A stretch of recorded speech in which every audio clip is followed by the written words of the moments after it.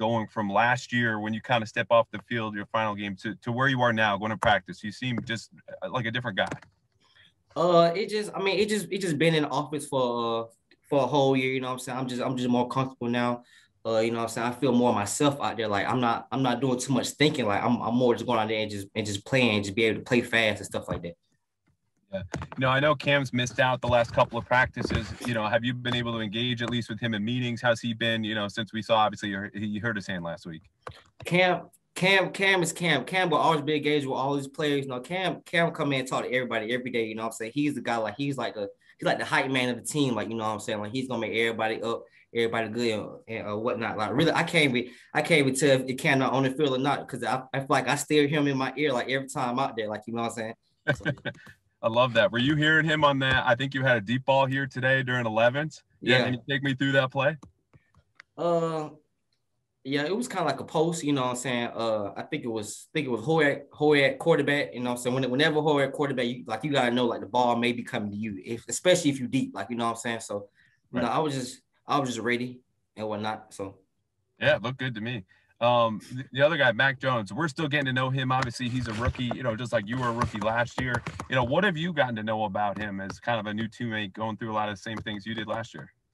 Uh, like I could, like I could say, uh, Mac is way more confident than uh, I was my rookie year. You know what I'm saying? He he picked up on the plays and, and stuff like that. Really, really, all the quarterbacks out here doing good. You know what I'm saying? It, it's just it's just good to be able to learn from each quarterback and stuff like that. Yeah. So do you have plans? You know, obviously mini camp coming up next week. Those are a big couple of days, right? The whole team's going to be here. Then there's a big break. Are you going to be trying to get away from football, rest up the body? Are you going to be studying? What What are those kind of six weeks going to look like for you?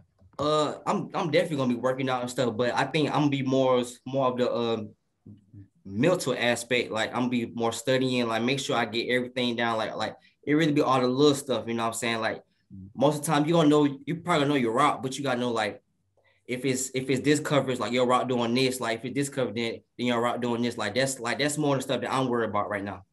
Gotcha. All right, last one for me. Um, Nelson, Kendrick, new to the team. How's it been having those guys in from different places? Guys who are kind of established vets.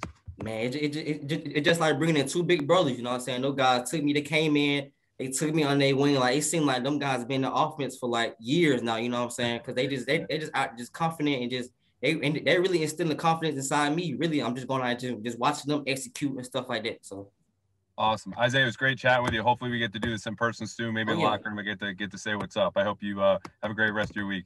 Appreciate it, Andrew. You too. Hey guys, I don't see any. Uh, there we go, Karen. Go ahead with your question, Karen. Hey Isaiah, how's it going? Good. How are you today, Karen? Good. Uh, I didn't hear Andrew's question, so if I repeat, uh, I'll apologize. It's all good. uh, I'm just wondering um, how you're approaching this particular camp uh, in terms of, you know, perhaps making the final roster. Uh, you know, I'm I'm I'm just approaching it coming to work every day. You know, I don't I don't know if I'm gonna be on the active roster or or the practice squad. I'm just I'm just coming out just just coming and just attack each and every day. You know, I mean, I'm just, I'm just trying to get better every day.